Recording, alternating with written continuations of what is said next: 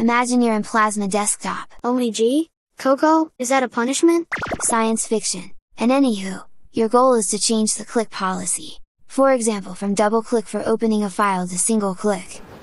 But to understand how to achieve that task on its fully extent, we have to go back in 1996, and most specifically we have to travel to Germany. By a train? Satisfactory sound effect.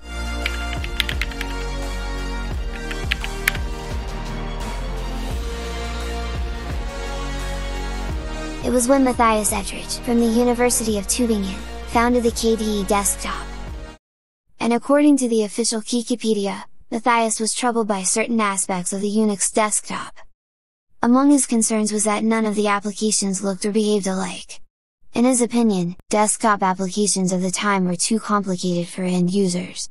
In order to solve the issue, he proposed the creation of a desktop environment in which users could expect the applications to be consistent and easy to use. As a matter of fact, Ettrich, on the original announcement of the project, mentioned some of the design goals for the various components of the desktop. For instance, such a module is the file manager, and the idea wasn't to create a powerful high-end graphical bash replacement, but a nice looking easy to use file manager for simple tasks. Now we have some background context we're ready to accomplish the task. So, the first normal thing to do is to open the menu, and search for settings. Settings launches with an active search box, so we can keep typing. And let's try for click maybe? General behavior doesn't make much sense, but it seems more appropriate than Windows behavior. So tap that. And the click option is just fond of our eyes. So in this case Plasma was unexpectedly justify their founder as a simple and easy to use desktop. By the way, on previous Plasma releases, but not very far from today, this option wasn't only hard to find, but also crazy bugged.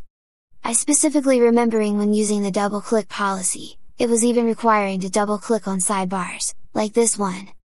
And with all the respect for KDE project I don't have, I must confess that the last couple of years this desktop has met great improvements. But yet, do we still need to press apply for every single change? Seriously, KDE developers? But displaying and allowing to reset to default options with a single button is a super awesome feature. Thank you KDE developers! Coco, what are you doing? The cold hot ice and fire technique. And you now may thinking that everything went according to the plan, you are right, but that was never the plan. So, same situation on Reddit KDE, with guy been unable to change the click policy to double click. However the thread is tagged as solution found. Let's investigate.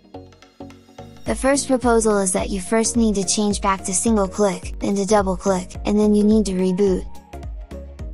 But that didn't seem to work, so the guy asks in what order to do all those? Unfortunately the other guy can't remember the exact order, but you can try or the possible combos. But that didn't fix the problem, so the next recommendation was to disable the Cairo dock because it can bug the click policy.